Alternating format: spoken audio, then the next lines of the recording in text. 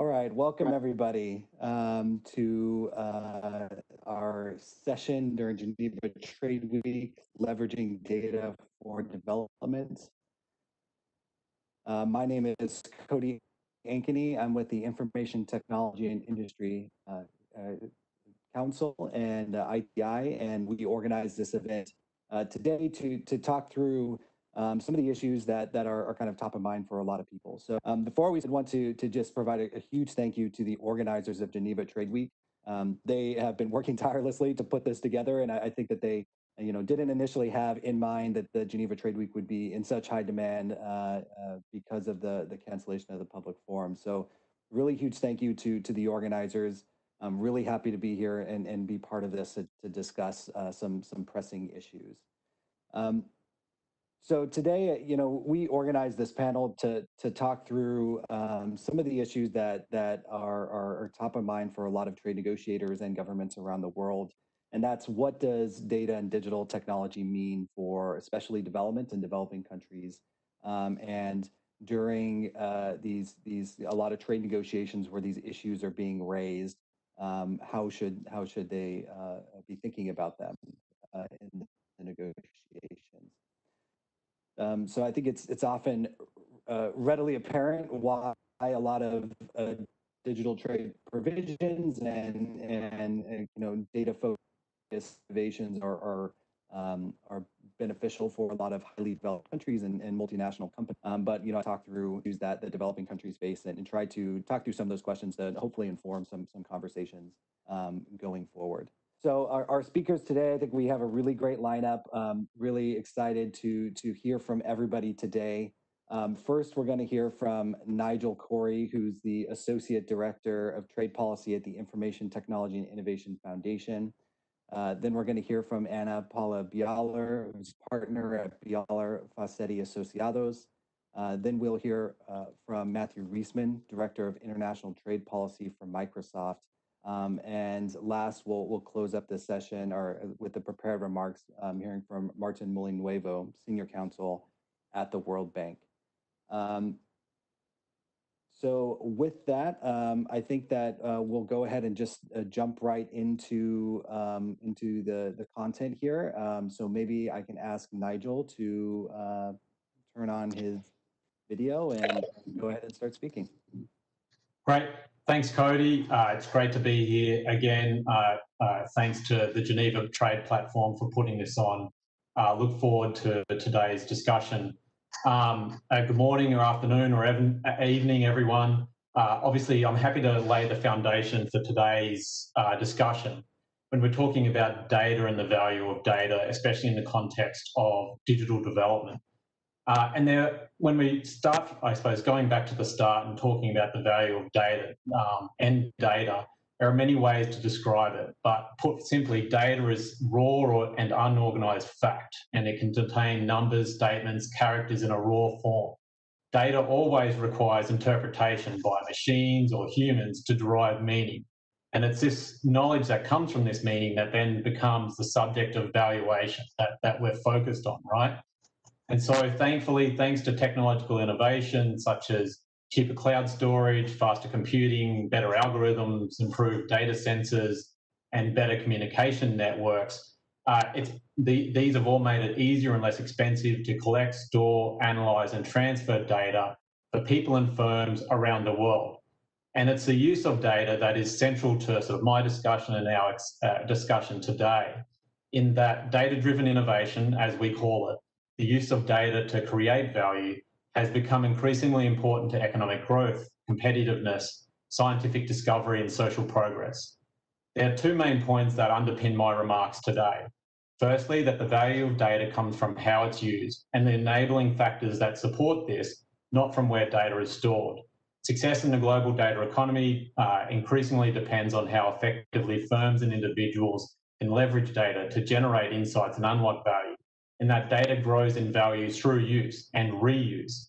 And by use, I don't just mean some computer programmer, uh, but people and firms using data as customers as part of cutting edge software and services, whether domestic or traded, that allows them to be more productive and innovative and, and thus successful.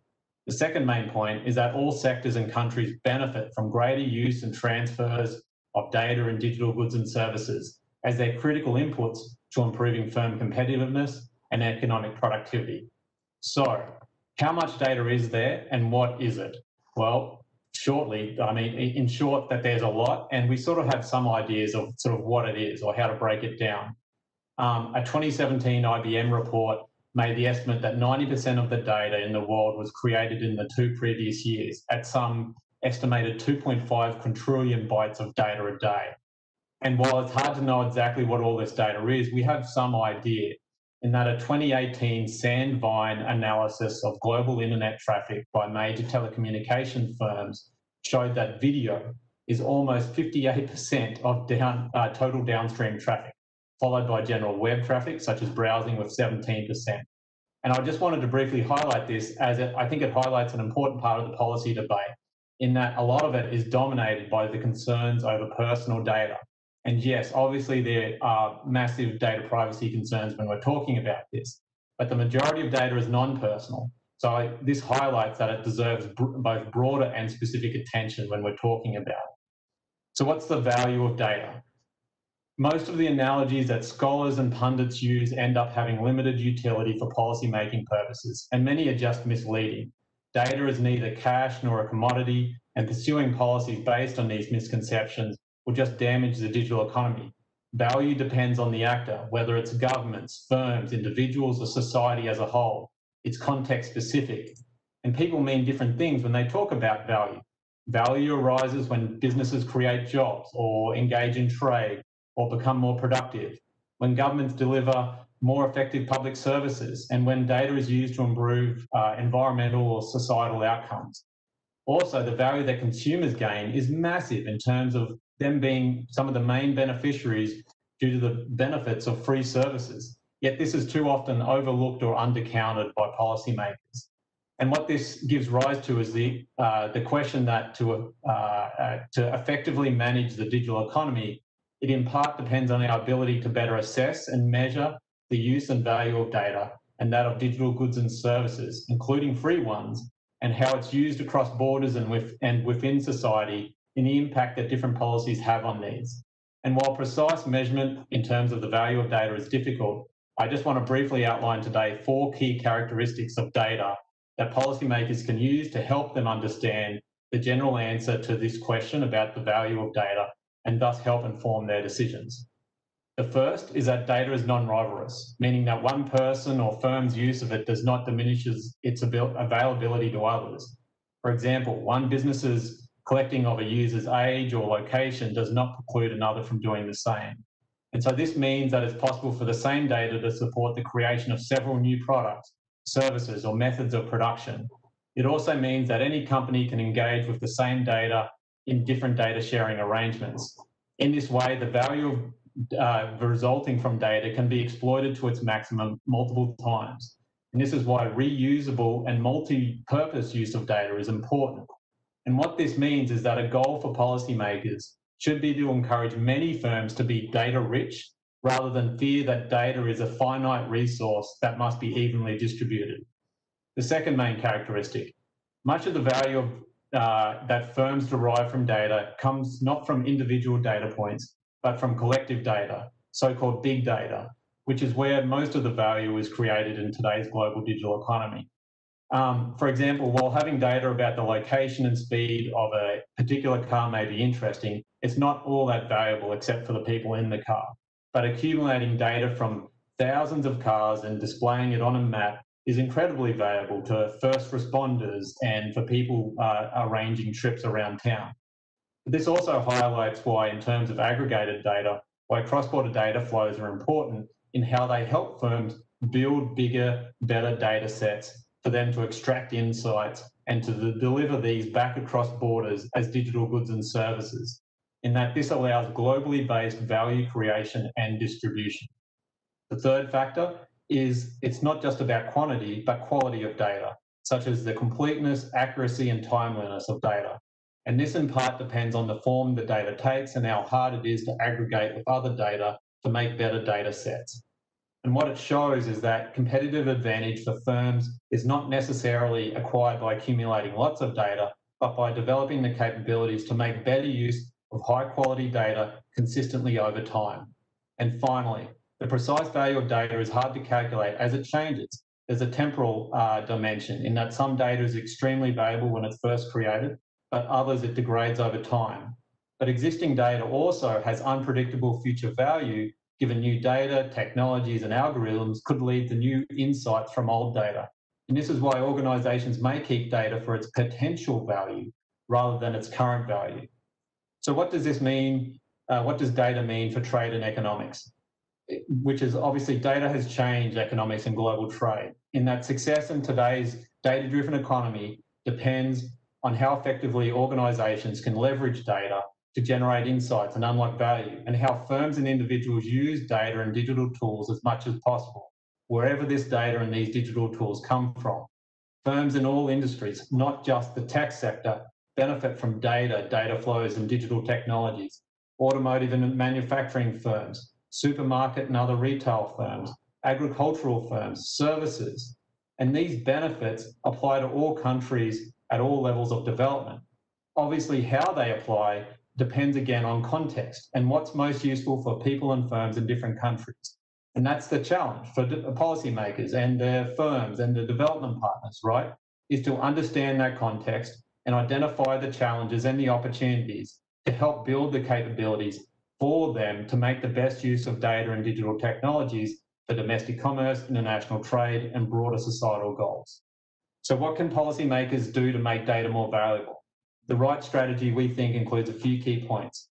Encouraging the broad adoption of ICTs, such as through reducing its cost, uh, cutting taxes and tariffs on these, improving ICT infrastructure, maximising the supply of reusable data, improving countries' data-related regulatory capabilities, building workers' data science and data literacy skills, and updating trade rules to provide the critical economies of scale that are central to digital trade. And I outline all of these suggestions in reports that I'm happy to share separately.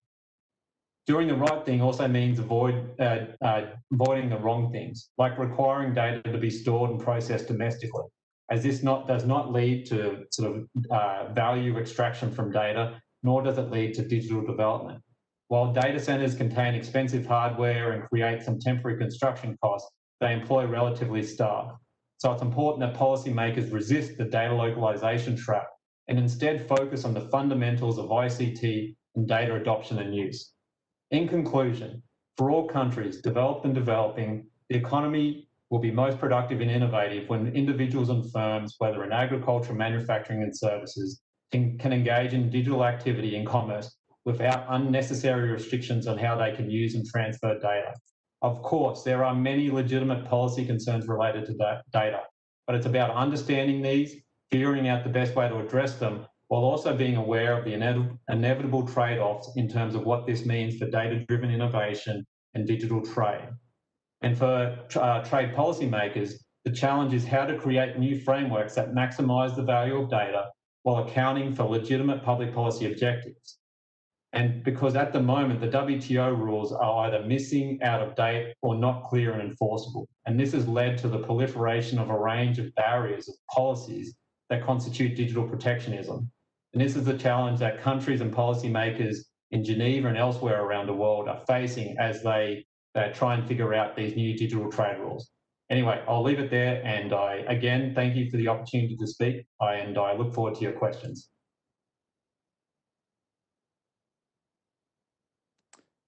Thanks, Nigel. Appreciate that.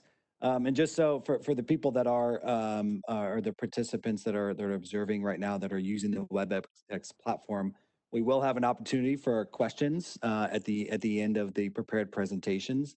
Um, so just uh, keep in mind that you will have an opportunity to, to raise a question if you want to, to uh, put down some notes. And you, you're welcome to aim a question at a specific speaker or, or um, ask uh, everybody, and I'm happy to direct that to the person that you identify. Um, the Q and A uh, uh, chat function is is how that um, that's going to work. Um, but without delay, uh, let's go ahead and move on now to uh, Ana Paula Bialer. Thank you, Cody. Um, it's um, it's a great honor and pleasure to to share this roundtable and discussion with you. Um, and I'd like to just say thanks, especially to Cody and ITI for the invitation. Uh, I'm a lawyer and public consultant in Brazil, so the, the discussion around developing country um, is very close to home. Um, as you all know, Brazil is a pretty uh, vast territory with striking contracts amongst its various uh, regions. And digital technologies are a completely intangible concept in some areas of the country, and yet a driving force in the most developed states like Sao Paulo, where I am. Um, and I guess the quick question is how to transform adoption of digital technology into really a federal uh, policy that could um, encompass uh, the such different challenges in the in the whole country. And uh, in, to a certain extent, Brazil started um, its um, its road uh, towards that in 2018 with the publication of a digital transformation strategy, which was followed by the digital government strategy and um, more recently the, the, data protection law. But despite such important structural policies, there is this pretty still a low level of maturity at the government uh, level in terms of uh, really grasping and understanding the interplay between um, these initiatives and policy that have actually been um, approved and are on the way of being implemented and the reality of digital trade or even the the global nature of the ICT um, a sector and, and all the discussion around um, scale and even the need for harmonization and global consensus-based approach to um, this new reality.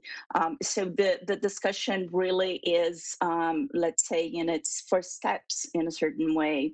Obviously, the expansion of the internet ecosystem has enabled you know, economic growth, innovation, and opportunity. Uh, and we have a number of economic studies that show how much the global economy has grown and the role that the cyberspace, so to speak, has had in terms of job creation and um, uh, ability for growth and existence of small and medium um, enterprises in, in a country uh, with um, a population like Brazil, for instance, as it would be for any developing country, having um, uh, cheaper and easier access to uh, digital technologies uh, would certainly ben uh, be an important benefit um, in terms of um, actually allowing them to, to access this new reality and while this was true before the pandemic, um, kind of our new normal uh, reinforces the relevance of this reality and of digital trade as a driver and really a pillar for sustainable economic development. Um, um, it, back in 2015, uh, they were a bit old. I like the study that Deloitte published a study on, on the relationship that um, social media had, especially for small companies, and how it would uh, really project them both nationally and globally, uh, reduce uh, barriers to marketing, or actually allow them to to market and be know be known uh, and obviously with that generating uh, really significant economic impact. Um, i'm familiar with a couple of cases uh, one uh, that is a you know a really tiny small family three women northeast of brazil uh, had never left left the city were able to actually launch a pretty successful business through uh, a platform like that uh, just by you know selling arts and crafts via Facebook. And and and, and what I'm saying is obviously uh, it's unquestionable that digital transformation empowers users and providers and you know make them um, choose how to access and deliver service and in some cases actually uh, just give them the tools to, to do that. That do that is not even a matter of um, a choice. Uh, the greatest challenge i believe we face uh, and governments face is to meet uh, these new expectations uh, with the reality of an extremely outdated um, mindset uh, and really uh, regulatory structure. So governments are adapting public policy to um, this whole new uh, collaborated approach in the digital age, new um, the new digital uh, to a certain extent has um, brought government closer uh, to a number of the um, uh, of the services that society needs. Uh, but of course, to become fully digital, governments need to adopt and use digital technologies and data as strategic components of their efforts to modernize the public sector. Uh, and um, I'll second Nigel here on how important the use of data and reuse of data um, is in terms of uh, allowing for the integration of core processes and activities in order to really establish new ways of working and promoting greater openness and collaboration and the first step, as simple as it may sound, is really to know uh, the data you process, which in the case of developing countries, uh, it's not that obvious and it's not that simple. simple. You often have different structures, different databases, and not a, a, a continuous uh, mapping uh, of that flow of data in or even for the use of data. Uh, the current administration in Brazil has already committed to digitalize nearly um, all of its about 4,000 public services uh, with a view to help integrate uh, the data and really get more benefit out of it. Um, they have so far been able to digitalize about a thousand uh, of the services, which is already enormous progress, but we obviously still have uh, a long way to, to go, even though it certainly feels we are on the right track towards um, a effective digital tra transformation. And then, you know, if it's all good, uh, where is the, the big catch? And um, I would go to international data flow as being uh, on the one of the bases of the, the greatest challenge that we have facing forward. Um, a global-oriented regime to data flow, avoiding the creation of uh, frontiers the digital world, uh, is um, clearly one of the fundamentals for digital trade and the digital economy uh, to foster. And more than that, for one, to really shift the mindset of what we used to have and what we need um, to have. The digital transformation is not just a matter of doing what you used to do in digital platform, platforms. It's really about uh, rethinking uh, process, uses of data and services and what can be um, actually offered uh, one of the uh, one of the, the, the challenges uh, of this um, international data flow is the is the really appetite of um, wanting to look at data um, as if it were a, a component uh, that you use to manufacture locally and wanting to keep it locally. So uh, you could have access to it and know uh, what was uh, going on uh, with it. Uh, but of course, that brings a, an important challenge uh, and and negative consequence to, to data flow. Um, I do like a study by McKinsey 2016, if I'm not mistaken, uh, that over a decade, uh, the types of uh, data flows that act together increase substantially the world of GDP in relation to what would have resulted um, in a world without cross-border data flows.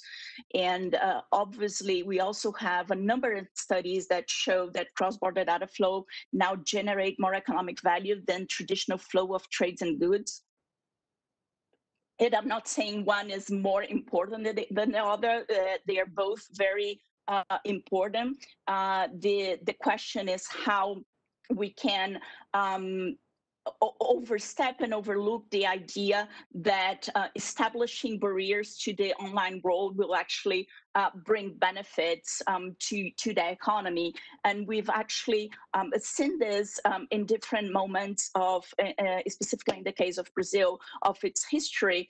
And on and off, we go back, for instance, to the discussion on data localization. And while data localization restrictions um, are often um, considered, and they do have um, a specific context for being considered in terms of uh, addressing specific pu public policy objectives. Um, I do believe um, it's uh, more than then evident that as a role, uh, this tends to add an additional layer of cost and barrier for the development of digital economy, especially if we go on to uh, the, the actually the capex cost of, uh, for instance, a data center in a country where you still have um, high tax structure, high electricity costs, uh, and so on. So um, usually, uh, I would say that even though the, the policy objectives around uh, the restrictions on international data flow or mandatory data localization may uh, may often be legitimate, the implementation of these barriers um, may uh, are likely ineffective. Uh, they don't reach the intended objective, and most often than, than not, they end up um, limiting uh, the country's ability to actually participate in a global uh, scenario and in the digital um, trade overall. Um, and usually personal data protection um, and law enforcement are amongst the objectives that are most likely uh, involved when we have discussions around the restriction to uh, free flow, uh, free flow of data. And um, as we've seen in, in many countries, these usually come at a pretty high economic and social cost. Uh, the pandemic scenario has strengthened the reality of data flows to which we are increasingly inserted into. Uh, with the uh, quarantine or lockdown, depending on where many people had to adapt to a new routine and adhere to the technological solutions, uh, the pandemic has created a world in which video conference applications have become more critical. Uh, remote work is the new normal, as is online schooling for you know, uh, for good or for bad. Uh, healthcare services and so so other services are all happening uh, online. And um, uh, again, going back to Nigel's point, uh, the, the, the investment in ICT infrastructure and the broad adoption of ICT, um, starting with um, broadband connectivity, which is not a given uh, in many development countries is also one of the, the key initiatives that need to embrace to actually allow the fostering and the development of the whole um, digital economy. And before I run out of time, I just wanted to stress that this new reality brings a change in mindset um, towards data and the role of data in the digital economy. And concepts such as data minimization, uh, privacy by design, security by default, and accountability uh, must be the new normal for, the, for those facing the digital transformation challenge. It's really not just keep using the data uh, with different roles. It's really understanding the new uh, context and the new uses and rules around the use um, of data. Um, countries can shape domestic, domestic legislation on cross-border data flows that enables and facilitates global information exchange while still protecting important regulatory goals and effective working towards economic and social development. And um, a lot of people say that data is the new oil and uh, I would be I would here actually disagree a bit. Data and then is most important uh, is the most important fuel of the 21st century in the sense that uh, it's even more relevant than oil to the extent that it does not come to an end.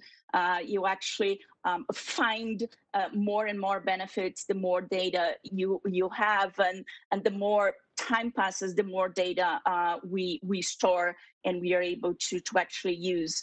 Uh, and um, I think the underlying message here is that we need to ensure uh, that data is protected, and especially when we're talking about personal data, it's duly protected.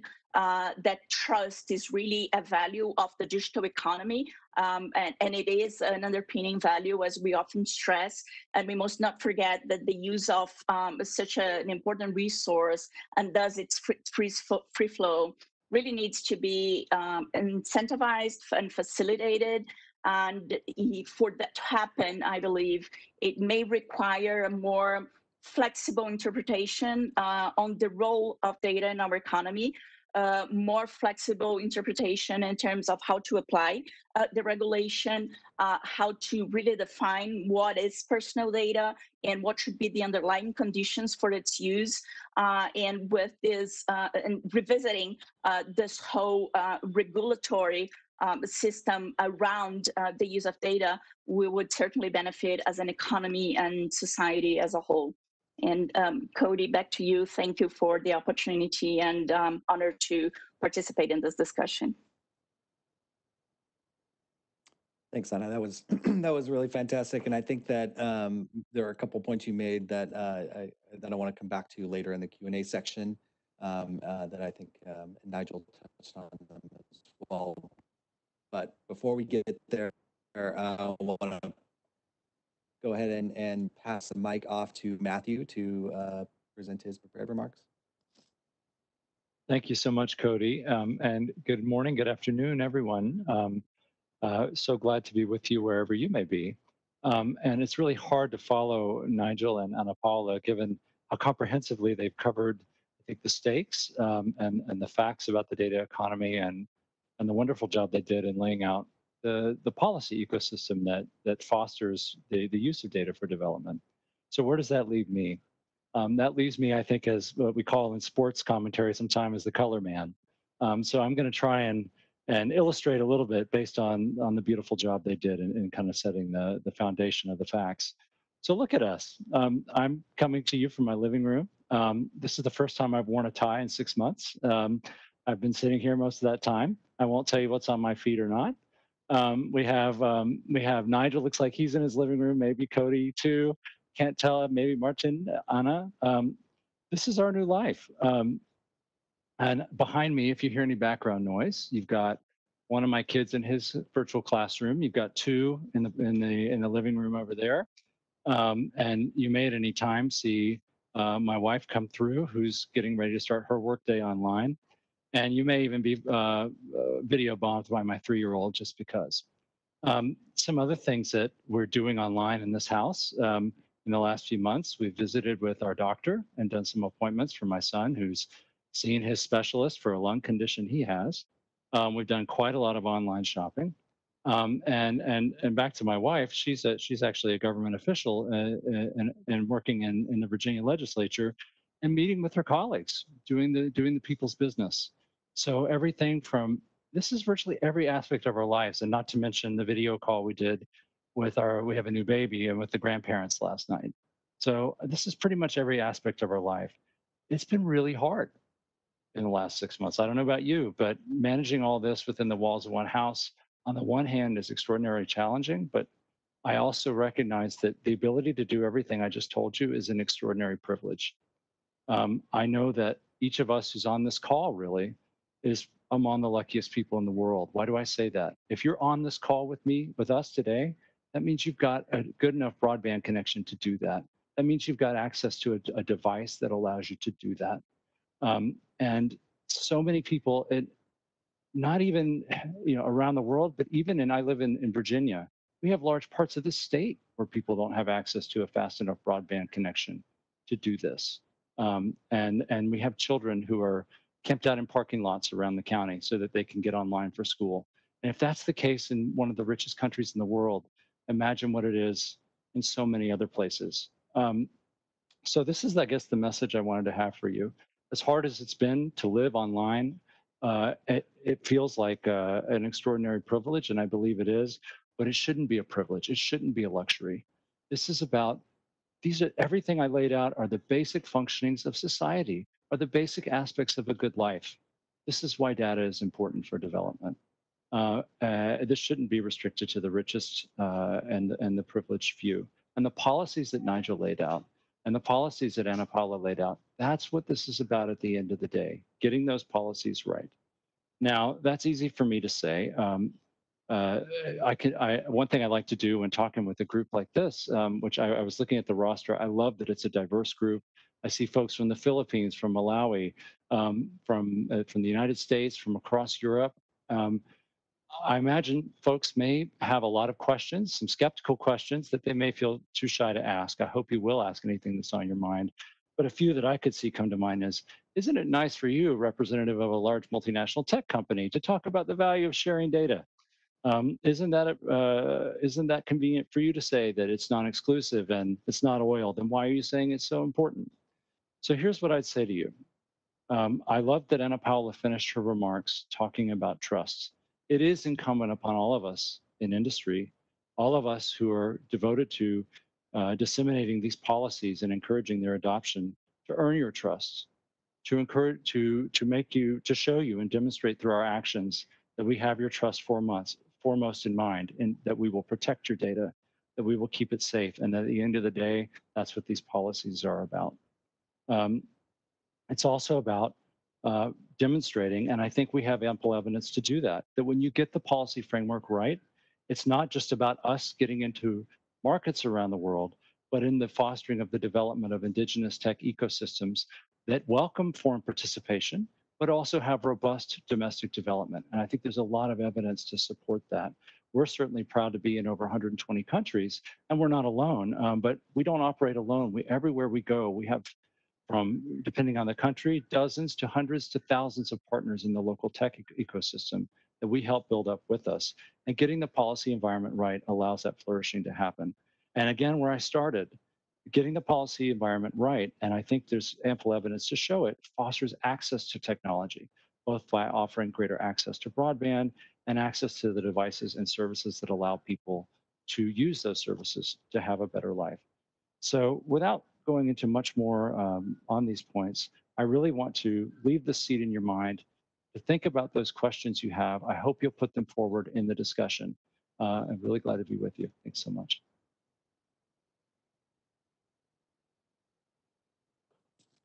Thanks, Matthew. Uh, really appreciate that. Um, and now to, to close off our prepared remarks, so I'll, I'll pass it off to uh, Martin.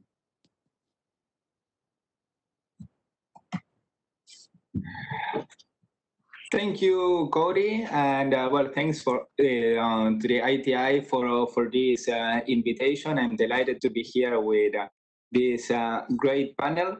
I have prepared. Um, I have a, a, few slides that I want to that I will be going through. I will probably be deviating a lot from these slides, mostly because I put them there so you don't have to see my face and you have something more interesting to look at. Um, but uh, I want to first, you know, have a. I want to focus my discussion on a bit of the con- on the development context of uh, trade uh, rules and especially on digital trade rules. Um, you know, some of my uh, fellow speakers have already mentioned some of these uh, of these things. I will. Uh, um, so they have laid out very nicely the the floor for me. Um, so I want to focus on uh, uh, on that context, and in the end, I will mention something about the World Development Report that we are working on at the World Bank. You know, it will be a little bit of an infomercial, if you don't mind. Um, first, start with something that I think we all agree that data is empowering trade in uh, in the 21st century. Um, for that, I think I like to, to use a, an example of a, of a firm that I had the pleasure of visiting a few years ago. It was a firm in uh, a startup in, in Dhaka, in, uh, in Bangladesh. And, uh, and the firm, what it did was sub, uh, providing services to doctors in the United States um, to basically do the paperwork for, uh, for medical doctors in the United States. Uh, as you know, as a result of Obamacare and uh, the uh, and the insurance policies, doctors have a huge ad administrative burden. So, so what this firm has done was providing US-based doctors with um, smart uh, glasses, with uh, Google glasses, in fact, um, and having um, an assistant based in Bangladesh witnessing remotely the, the intervention the uh, the visit. Of course, you know, with all the the privacy measures at place, you know, and uh, the consent of the patients and so on. But that allowed uh, the doctor. Uh, basically, it was an, uh, in in average it would uh, reduce the administrative um, burden of two hours a day for the doctors. so it was two more hours that the, that the doctors could be used um, working on patients and seeing patients and having all the paperwork ready and um, by uh, by the end of the day. So he, and uh, and the um, the platform that the, the, the firm was using was Google Glass and in, and all sort of on and, uh, and a, a, range of uh, of Google services, you know, including translation and so on. Why I want to mention this is because this kind of trading services was clearly data driven dig digital data was at the core of the service. And importantly, it was it was possible because both the United States and Bangladesh, in this case, had a pretty liberal and progressive regime for data um, for data transfers. Have uh, have any of these two countries have any strong restrictions that would um, for data it would oops, sorry it uh, it would have been detrimental both for the United States for the health services in the United States and for the uh, startup in in Bangladesh. So definitely um, data is at the core is at the center of uh, uh, trade in the 21st century, and that has bring major benefits uh, in social and economic development across the board. But it's true that you know digital trade is not a reality for uh, you know for everyone. Some of my uh, you know our, our speakers mentioned already the challenges of broadband connectivity around the world, um, and that is and that is true. Only half of the world remains connected to the is now connected to the internet, and among those not connected to the internet is mostly in Asia and Africa, in uh, in, in middle and low income countries. And those who are connected to the internet still doesn't mean that it's a great internet. In Sweden, it would take you about 12 minutes to download an HD movie, and uh, and in Pakistan it would take you probably around 12 hours if the connection doesn't crash. So forget about necess- for you know forget about streaming, and also forget about businesses that need to rely on uh, on fast and solid connections to the internet. So so digital trade for for many countries remains still aspirational, and I want to highlight three main structural challenges here. Of course, digital connectivity that we already mentioned, um, skills, talents shortage, including on soft skills like managerial skills, um, remain a key bottleneck in, in, in the developing world. And finally is finan financial systems. Access to electronic payments is uh, is still uh, not mainstream, even in uh, in high income countries. Um, uh, in many uh, in many occasions, e-commerce is paid through cash on delivery or other uh, non-online uh, systems.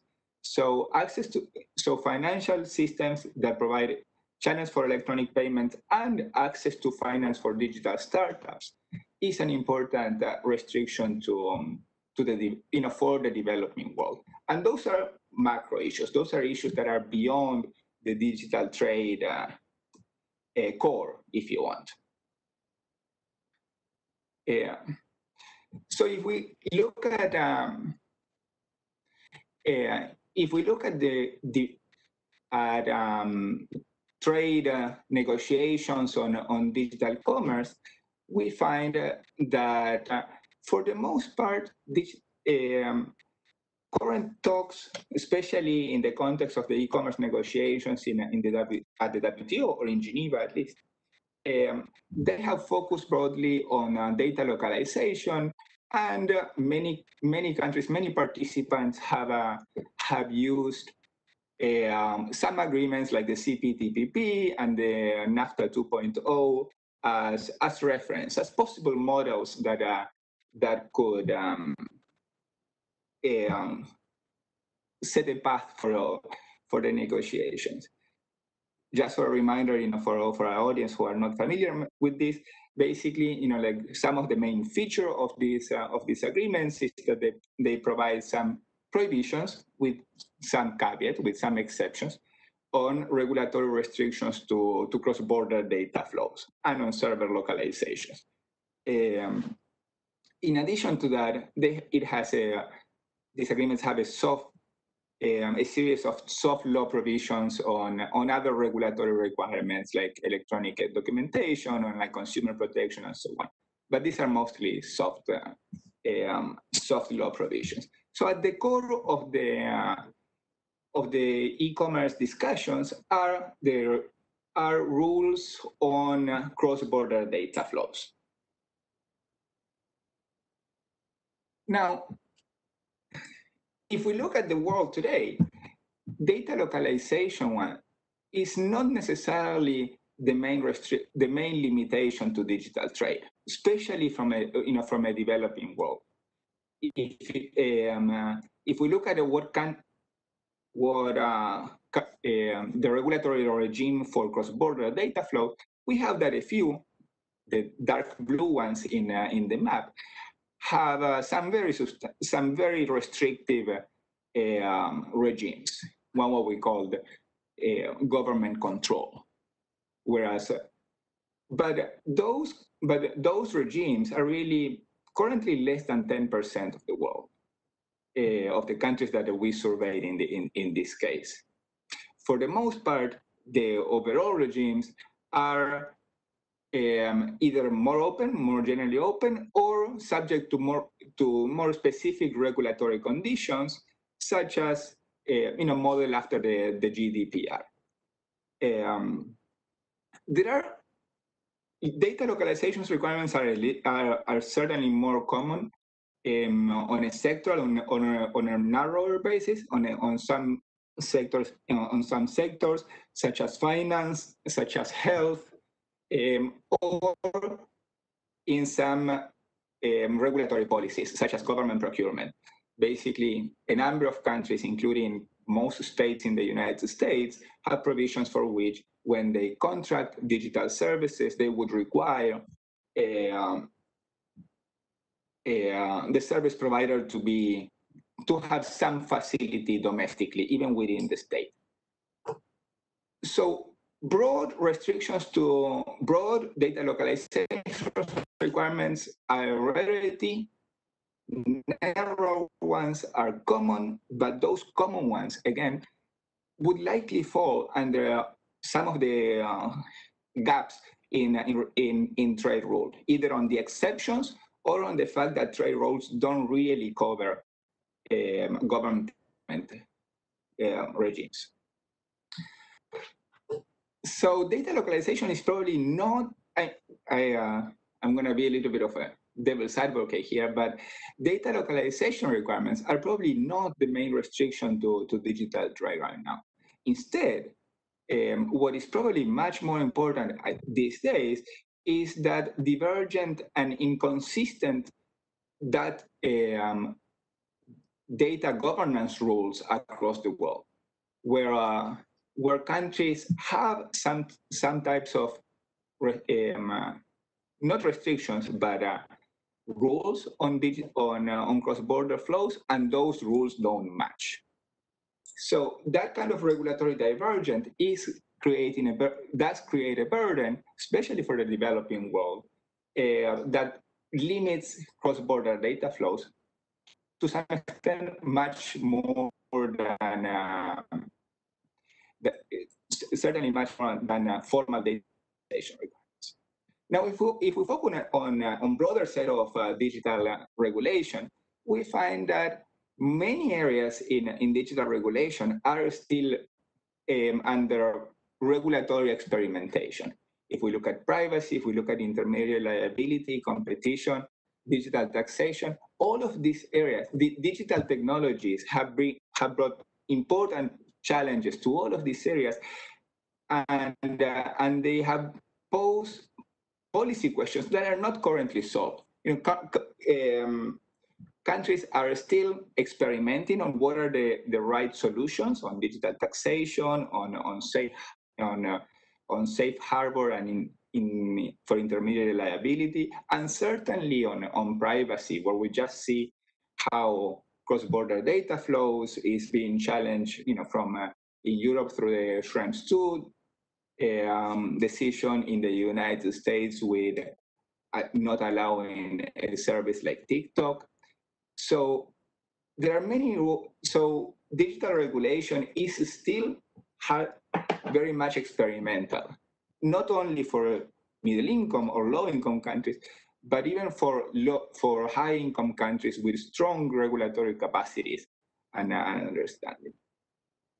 So in this context, a trade agreement that set, that um, that sets prohibitions is probably not exactly what you need. Uh, yes, I mean, prohibitions, certain prohibitions may make sense, but um, but there are a number of questions that are yet still not settled, where you want to, where where you may want to have some room for for experimentation. So where does that leave these uh, trade negotiations from a, you know from a development perspective? I would say that these uh, these negotiations currently offer little of interest for developing country. Some of the bigger challenges, as we said, uh, digital connectivity, um, skills, finance are not part of the discussion for good reason. I mean, there are probably, it, it probably that's not the forum, but uh, but it's not part of the discussion. Um, and when it comes to regulatory matters, these, these uh, negotiations so far are focusing on, well, limiting data localization requirements, which is probably a good idea, but, uh, but offering little else, little guidance on what are the right tools for, uh, for regulating trade. Um, I'm gonna take. I'm, I'm, going to agree with uh, with Nigel here, and in, in, a way that I hope that he uh, he doesn't find that I'm cheating or, or twisting his words. But uh, um, but Nigel said from a policy perspective that you know you should avoid the data localization trap, and you should focus on the fundamentals of data adoption and use. And, the, and that is certainly true for policymakers, and that is also true for um, for data governance at the international level. Data localize, focus on data localization, yes, you know, that, that is an important area that should be tackled, but it shouldn't be the only one. There are, certain as I said, there are certain fundamentals on data adoption that should also be considered. I'm going to skip this and, uh, and leave it for the Q&A session uh, if we want to dig a little bit deeper on what should be included in this uh, development agenda. Um, and I'm gonna I'm going to jump to a little bit of an information information on our uh, next work. Uh, so part of this discussion um, and, uh, and, a much broader one will be tackled will will be covered in uh, in the uh, next um, World Development Report in the in, in 2021, which is focused on data for better lives. Um, uh, the World Bank uh, flagship publication uh, will be looking at how data, the role of data on development, um, not only as a channel, uh, as a tool for the private sector or for trade, as we are discussing today, but also how data can uh, strengthen uh, civil society and improve uh, government services delivery. So it will uh, so it will be a much um, much broader discussion. There will be one on trade, which I'm uh, being honored to to lead. Uh, so I invite everybody to keep it on the loop, and hopefully in February next year will be will be up. this is all for me now, and I look forward to the discussion. Thanks a lot.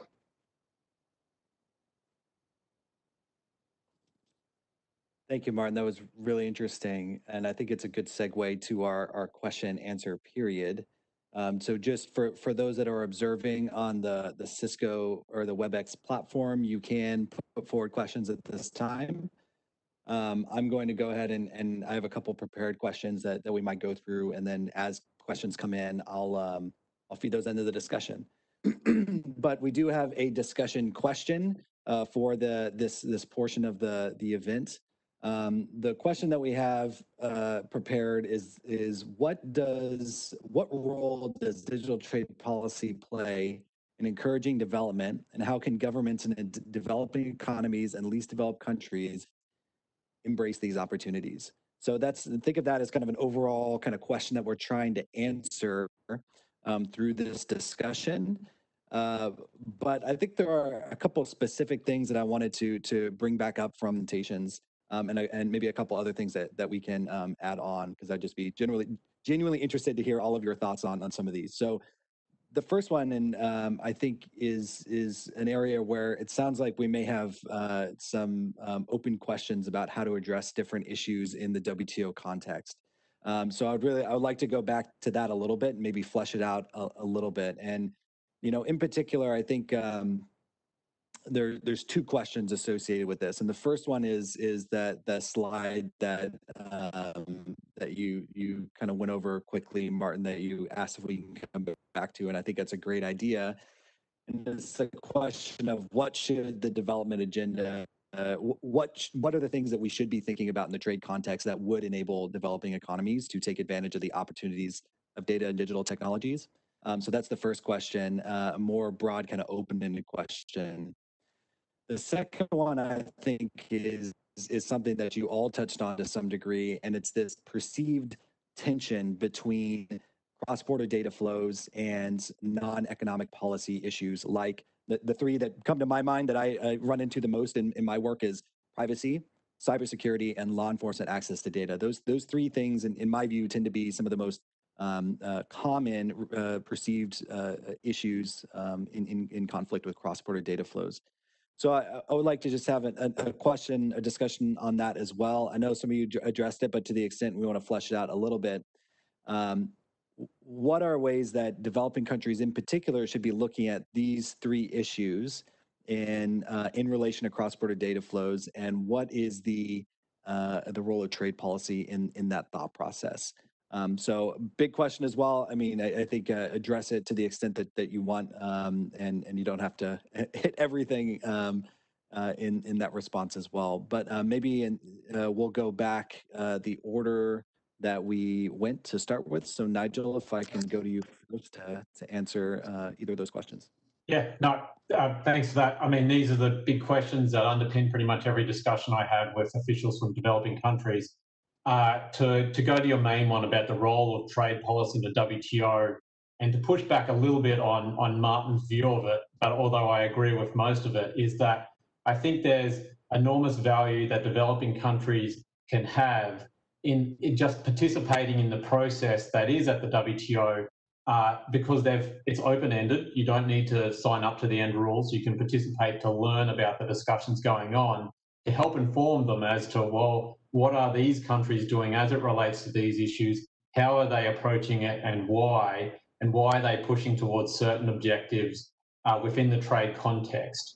Uh, because that's important because countries are at various uh, varying levels of, of sophistication as it relates to engaging with these issues of international data governance and digital trade. Um, so there's that part of it, and which then can then help inform them as to what they should do at home.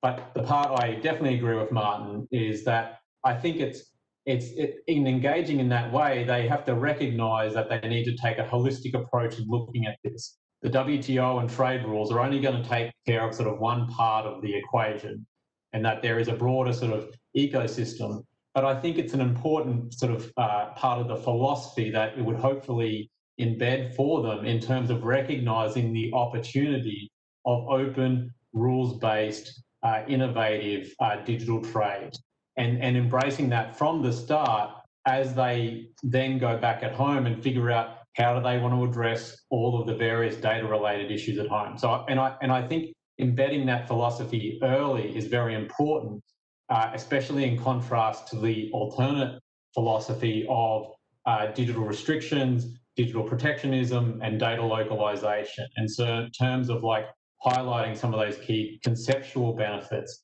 by engaging in the process with some of the world's leading economies, digital economies, even if they're at a obviously a, lower level of development and and and and stage of preparedness. So anyway, I'll, I'll leave it at that and then uh, let the others take on the other parts.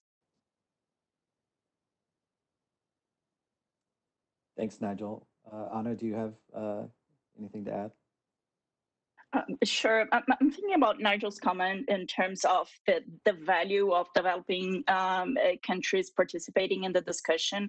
And uh, I absolutely see the value, but I also see um, the danger in the sense that uh, you don't really have sometimes all, the whole background in the context in which some of the discussions are happening, and you tend to want to jump ahead so for instance, let's look at AI, for example. There are a lot, a lot of discussions around AI in, in several countries, and there is a reality uh, that is so far away from many of the developing countries that once you participate in the discussion, you just want to kind of bring it close to home and you think it's a good idea to regulate that. And you're often not nearly as close to what you need to be to understand the impact. So I don't disagree that there should be a participation, but I think there is a downfall uh, that uh, quite often is to accelerate uh, the certain discussions when the country is not not there yet.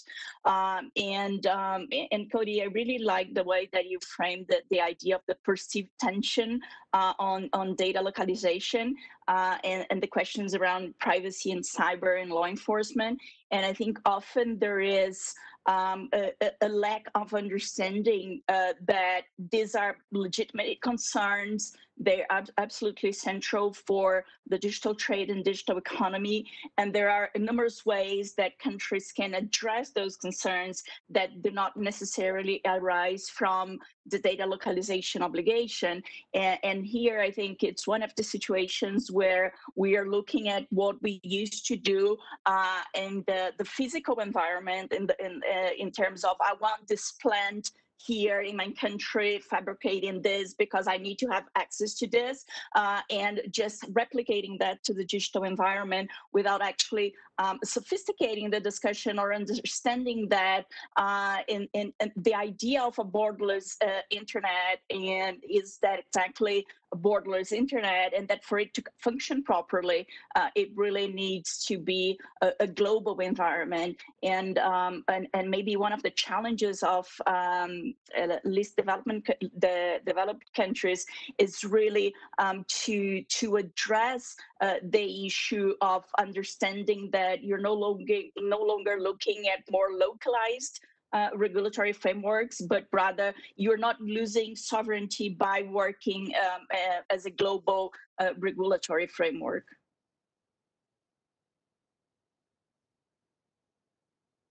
So yet again, um, difficult to follow up when when folks have covered such key points. I'll just say a couple things. One, um, Martin, I loved your your slides because you you mixed it up for us a little bit. Um, I will. I I I uh, there was a slide that showed a map of data localization policies, um, and I thought I just would note that while you noted that 10% of uh, policies seem to have a localization element, if you look at the countries that were in dark on your slide, they're a pretty large share of the world's population. From uh, I would submit more than 10%. And if you look at uh, other countries that are very seriously considering such policies, it could pushes it up quite a notch further. So it's just a that's that's not meant to uh, dispute the fact you presented, but to present uh, another perspective on it. Um, and I think that that point is not necessarily in tension with the other point you made, which was a super important one for businesses like ours, which is that heterogeneity that you talk about is more broadly speaking with tech policy regulation, one of the biggest challenges we face. Microsoft is a company that has a, a physical presence in about 120 countries and operates in about 190. Um, that's a lot of places. That's a lot of tech policy ecosystems to stay on top of. And to me, the promise of the digital trade talks at the WTO and where there is value for every country is how can we move towards uh, that interoperability that you talked about and that you highlighted uh, in ways that preserve the freedom to regulate in ways that address the, the legitimate objectives that you laid out, then that were described by Cody, um, but also to the greatest extent possible, move to interoperability. That benefits everybody's ability to access the technology. Um, and you know, Cody mentioned privacy, cybersecurity, and law enforcement access to data.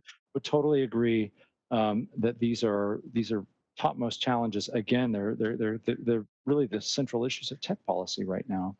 Um, I think that the way to go forward is there are examples from countries who have built these frameworks of ways, and this is what I think Ana Paula was, was addressing, is they've managed to address those in ways that are effective without only going to data localization. There are other policy frameworks that are available. Now, let's be real. I think you, you mentioned in your presentation, Martin, that in a lot of governments, public sector data, depending on the classification of the data, the sensitivity of the data, yes, even here in the United States, there are times where data is deemed too sensitive to be taken off premises. Get that, totally. Um, and every country needs a certain amount of flexibility around. What we recommend is data, uh, uh, there's data and there's data. Um, some data is more sensitive than others. And if we take a, a, a, careful classification of that, this gets to the point that was made, I think, uh, by again by Nigel and Ana Paula starting out about the value, the tremendous value of, of data sharing, the, the promise that lays out there. The more finely we can classify data and decide what treatment is needed for legitimate regulatory purposes, the better prospects we have for unleashing that potential. Stop there. Thanks. Thanks, Matthew. Martin? Uh, thanks a lot again. And I think that I managed to be a successful DEVIC ad advocate because I managed to tick off all my uh, all my fellow speakers. Although I have to say that I think I agree with everything that has been said before. First of all, I want to be clear. I don't think that this, for developing countries, especially disengaging from you know from uh, from this discussion is the solution. On the contrary, we uh, we, we we would uh, I would argue, and uh, you know, from my colleagues in the World Bank, we are strong supporters of uh, of this of discussions on on trade rules, including on digital trade at the WTO and elsewhere. Um, so, in fact, you know, we see the um, or I see the the low engagement of uh, of middle income, especially um, low income countries, um, as, uh, as a pitfall of the of the of the framework as it is right now. And right now, on out of 85, only three countries are LDCs. Um, we are we would support many more countries engaging in this discussion because the way of uh, bringing those development challenges and those development con uh, concerns to the discussion is by participating, not by staying away from it. So so we certainly uh, so we so we would we support the process and uh, but we support but especially from a you know from if you want from a pers personal perspective we support it with a little bit of a disappointment that is um, narrowed to this uh, to this aspect of uh, or, or, has been extremely focused on data localization requirements um, whereas there are many other areas where the uh, that probably are, that are affecting the um, digital trade right now more than data localization requirements and are not being sufficiently covered. Uh, and I would agree again with uh, with Nigel saying uh, saying that well trade rules do what trade rules do, and uh, and they cannot be uh, the and they are not the answer to everything. So we cannot you know certainly cannot expect um, that trade rules address interoperability requirements. You know, on as as it was suggesting suggested by uh, by Matthew, or um, you know pose a solution to uh, what is the access that law enforcement law enforcement should have to to personal data. Um, so these are all important questions, probably um, that uh, are likely not to be uh, to be that are not really going to be covered in a trade agreement, but should be really part of the discussion. The uh, trade trade agreements can uh, can cover uh, some small areas, but they can also link to other areas and uh, and and to other areas where regulatory harmonization and regulatory convergence is more uh, is more is, is easier than uh, on a mercantilistic trade discussion. And, and this has been done in the WTO. If we look at the TBT agreement, if we look at the SPS agreement, um, these, these agreements have strong, uh, have elements of regulatory harmonization, not in themselves, but referring to, to, other, uh, to other instruments and other fora. And, uh, and I would say that this should be the kind of approach that should be addressed in digital trade as well. Yes, data localization is an important discussion and should be somewhere there, but it but uh, uh, but it should be part of a broader discussion that addresses many fundamentals of digital trade, uh, in, including the um, regulatory issues and regulatory harmonization that cannot be done at the WTO, but should be done in, in, in some other fora.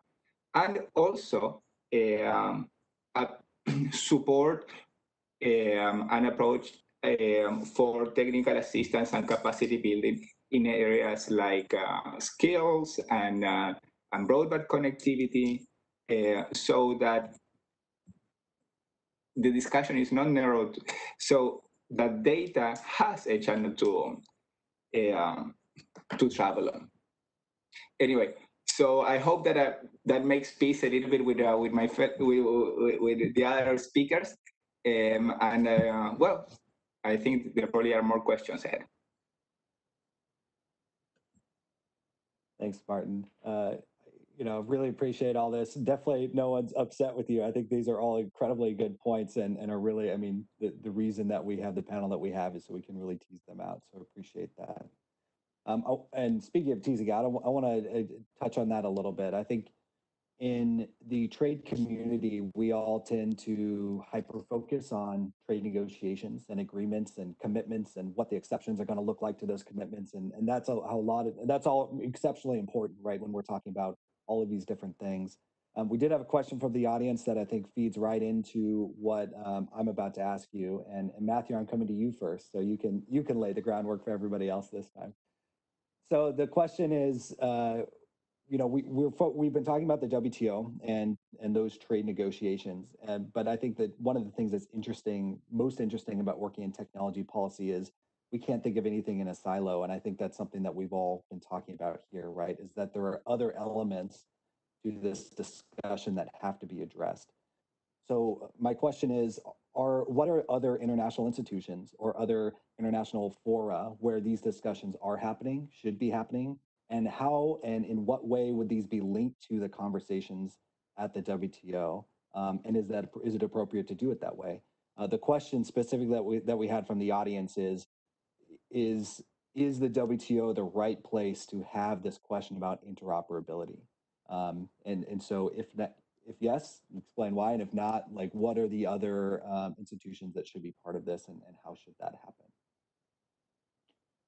It's a terrific question, um, and I would say that uh, there is a, a legitimate and probably vigorous debate to be had on what things the WTO should be dealing with and what it shouldn't. Um, there are advocates that uh, have an interesting case to be made for focusing more on trade classic, if you will, and then others that say, hey, the world is changing uh, and trade is changing with it, and the WTO needs to keep up with that. Um, I think where I land is somewhere in the middle, which is digital trade uh, or, and technology policy has a place at the WTO to the extent that we are focused on the trade related elements. And as long as we keep our eye on the ball there, um, trade negotiators should focus on focusing on trade distortions and how to try and minimize those, limit those, while trying to carve out that space for legitimate regulation and then allowing experts to to dive into that in those spaces. That's a lot easier said than done. Um, but I think that's that's a, a north star, if you will, in terms of where else those regulatory discussions can happen.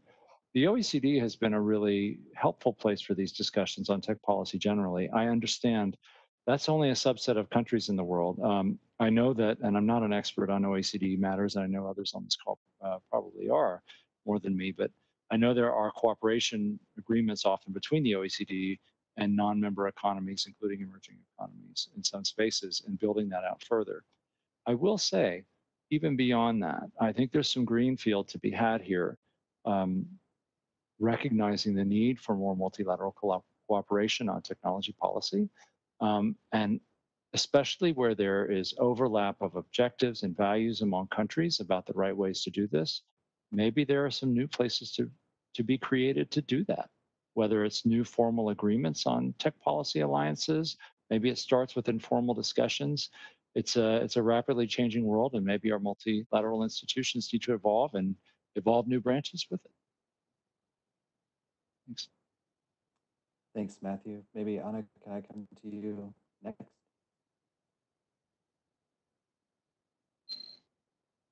Um, I'm not, um, again, I'm not an expert on WTO and may not be the best person to answer that, but um, I will second Matthew on uh, there are multiple places where um, a discussion around the digital economy um, could and should take place. Uh, the WTO is somewhat restricted. Uh, um, we've had a part of that discussion even at the the ITU. Uh, we've had a part of this discussion around um, an OECD, and maybe um, this reflects a sense that I have in terms of um, internal uh, regulation as well. The challenge of the digital economy is because it's so transversal and it reaches everyone. No one is 100% responsible for that discussion, and we we are on and off having to address different stakeholders, both at the national and international level, with different pieces of the, the discussion, which I think um, it has been um, a challenge uh, in itself. Uh, not looking at the, the digital economy as this whole new thing, uh, but breaking it up and allocating that um, in the, the existing forums um, that I believe has one of the is one of the greatest challenges that we we currently face. Thanks. Uh, and um, Martin, maybe I can come to you next. I know you talked about this a little bit, but is there anything you would like to add? Uh, sure, thanks, Cody. I mean, yes, that that is a great question, and uh, um, and it's true. And certainly, the WTO is not the only uh, uh, forum involved in this discussion right now, and, and uh, there are other venues that are doing a great work. Um, Matthew mentioned the, the OECD. OECD particularly has taken the lead on the regulation of digital taxes, and it's a and it's a work already ongo ongoing, still uh, uh, uncertain where it's going to land. Uh, but that is, you know, but that is a, a good forum to to take that in, uh, to lead uh, that discussion. Uh, one overarching forum that I think that it has that, that I think it's a pity that it has not been greatly involved, at least in providing um, political guidance, is the uh, is the G20. Uh, the G20 has taken up a few a few points on um, uh, on digital trade, but uh, but I think that it uh, broad as it is, it would uh, it, it, would have uh, it, it has the possibility of having a, a, more active role in connecting all these many dots, and uh, and so far it, I think it has yeah it, it, it hasn't gone there yet. Um, there are other um, for us, well, for instance, we have the European, the, Council of Europe um, issuing the, con the updated Convention 108 on uh, on privacy, um, which is uh, well, you know, we can debate how good a, a, an instrument it is, you know, um, but uh, what I think is important is, you know, for the trade negotiations and the WTO is to also to connect to those uh, uh, to those agreements uh, and to those initiatives. So, for instance, if the WTO is probably not going to be able to, uh, it's not the right forum to issue guidelines or principles on on privacy regulation, but it can but in its agreement can refer to other instruments as conventional at 108 um, or the APEC cross-border privacy rules to the extent that those are um, recognized as adequate guidelines for, for cross-border data sharing, then they could be in, they could be a part of uh, the trade negotiations and they could be the instruments that provide some guidance on what are the, what is the way ahead in terms of uh, regulation for developing countries. That's my part. Thank you. Uh, Nigel, do you have anything to, to add? Yeah, just uh, quickly, the question is a great one. It's essentially the only question in terms of whether we can build uh, an interoperable system.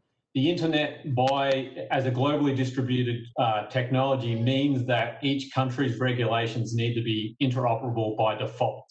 Countries can either recognize that or fight that. And so the challenge for us is obviously to, to uh, fight the latter while supporting the former. There's no uh, silver bullet to any one of these issues yet, but it's a matter of do we have the institutions where countries can come together to figure out how they uh, learn from best practices and early examples to build that so that overall the systems work together. Um, I, all the previous speakers have made all the right points in that there are a multiple of forums uh, that they can draw on. It's how you pull them together. Uh, the Inter-American Development Bank is doing great work and drawing in expertise there to help that region. Uh, the APEC, the Asia Pacific Economic Cooperation, is doing likewise there. How can they, how, how do they feed into the discussion? How do they draw in these principles and apply it?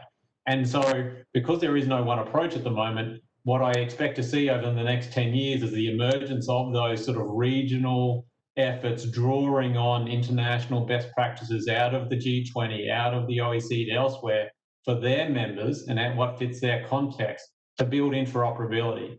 And I would love if that phrase became the defining objective of more countries, as opposed, to be frank, the European Union's drive for harmonisation in that there is one approach to data privacy. I think that's a very dangerous approach and is far more is unrealistic and untenable at, on a global basis, especially.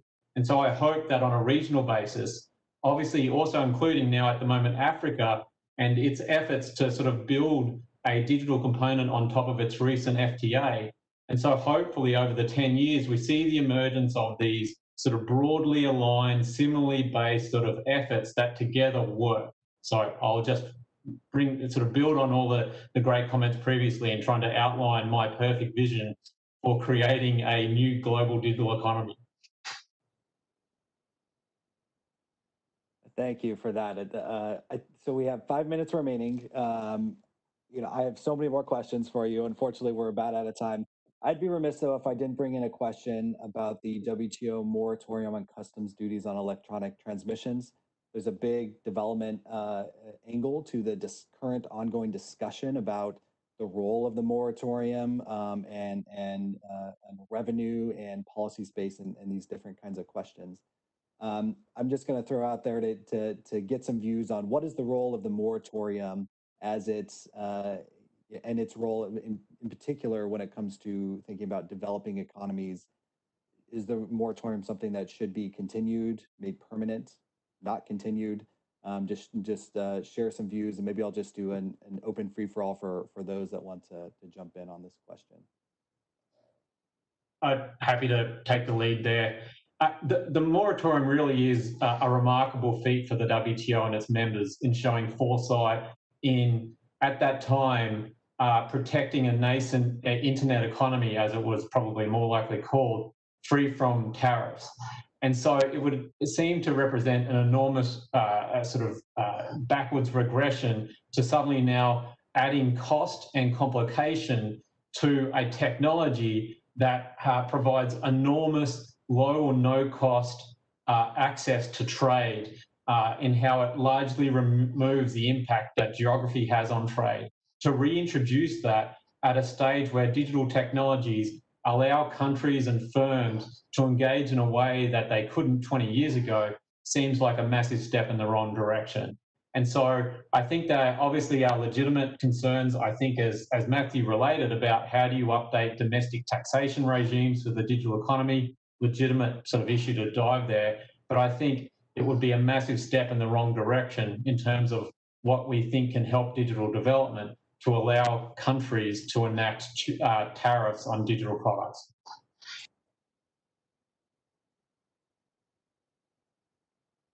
Thanks, Nigel. Anybody else want to, to jump in on this question? Maybe just to add, um, and you know, completely agree with Nigel. I think it's really interesting how this theme links to Martin's point, and the one that I think has become perhaps the key theme of our discussion today about heterogeneity. Um, the thing about a, a, customs moratorium on, on on on data, uh, which is essentially what we're talking, or or tariffs on data, if you will, which is which the moratorium is intended to prevent. It's a very seductive concept. Um, but I think it's first of all, it's extremely once you kind of get past the first pass at it, tricky to think about how you would even impose it. Are we talking about taxes on downloads? Maybe that's what you do. Are we talking about taxing metered cloud services? Maybe that's what some will have in mind. Now, multiply these kind of regimes by 190. Um, if the whole world decides to do this, it's really going to paralyze the ability to deliver cloud services across borders. Um, and that hurts everybody, right? The, for all the benefits that we spent the bulk of today talking about, we worry that that the, the moratorium disappearing could could really lead to a decline in the ability to access those cutting edge cloud services. I think, uh, as Nigel said, there's real questions to be had, right, about the distribution of, of incidence of taxation in the digital economy. And back to the institution I mentioned earlier, thank goodness, you know, the OECD and is, is leading some global conversations about exactly that issue um, let's let's let that process work out um, rather than uh, allow the costs that we just talked about to to creep uh, creep out and infect all of us. Thanks. Thanks, Matthew Martin. Uh, thanks, Cody. Actually, I don't have an answer to, to that question. It's a matter that you know that we have been trying to, understand um, and uh, and we haven't been able to put the, the attention that we that, that we wanted to. But one thing that I think that, that I think that we is uh, is an important part of the discussion, and and often gets uh, dismissed in order, in order to jump to the to the conclusion of whether the the moratorium is good and bad is the scope of the moratorium, and uh, and and I think that we have to keep uh, to think that actually the moratorium. Um, is relatively narrow in, in scope. And I want to, uh, Matthew mentioned, you know, whether the, those are tariffs on, on data. And the, the answer probably, happily, is that not really.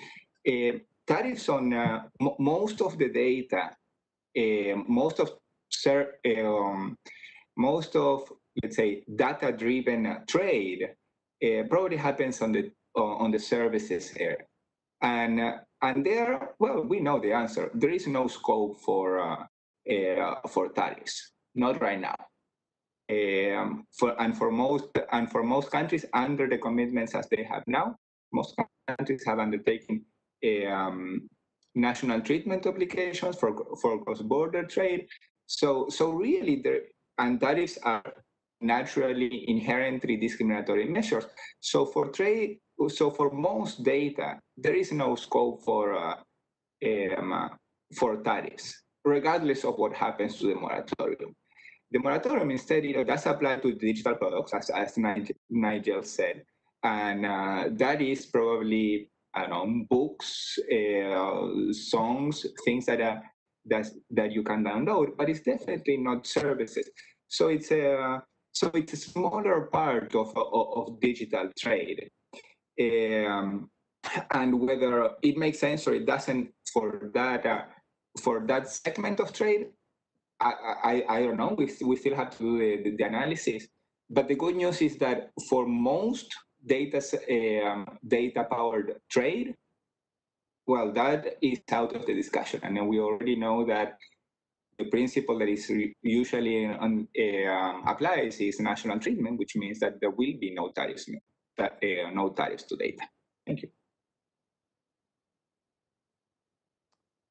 Thank you. And and Ana, do you, is there anything that you wanted to add before we close here? Uh, I'll I'll pass on that one and respect uh, our time restraint. All right. Well, uh, we are out of time, unfortunately. I mean, I think this last discussion is one that could take up a whole panel in and of itself. Um, and and I certainly had more questions, but you know I think this is um, a a global discussion that will continue, and that I I think we are all going to continue to be part of.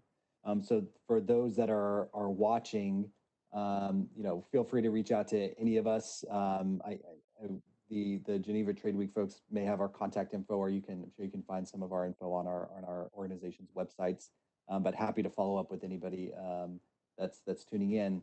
Uh, but other than that, thank you so much for joining. Thank you so much to the organizers of Geneva Trade Week.